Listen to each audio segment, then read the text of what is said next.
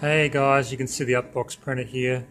Now I've been having a lot of difficulty with filament feed failures and when there's any kind of variation in the height between the nozzle and the base, as in getting too close, the filament fails to feed through. Now I noticed that with my DaVinci printers, I don't have this problem anywhere nearly as much. And I realized that the spring tension on here is not as high on the Upbox. So basically, it's it gives a lot more. So going back to here, uh, now, sorry about the lighting.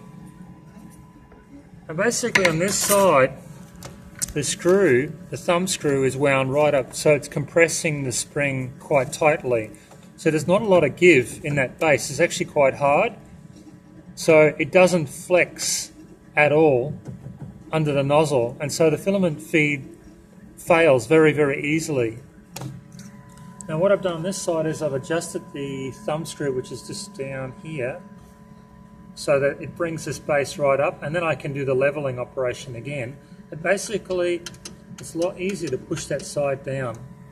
And right at the back underneath here, you can actually find the thumb screw. So I'm going to reach right around and underneath here, so reach right underneath, you can feel the thumb screw on that side as well. So this is my plan, is to adjust these screws so that the spring is under as little tension as possible. And see if I can bring some light on that one. So there's the spring there and there's the thumb screw. So adjust that thumb screw so as little tension as possible. On this side, you can see it's a lot more compressed. So as I said, it makes the base a lot harder. And I want to make it soft like the DaVinci printers. And hopefully then, I won't get all these filament feed failure problems.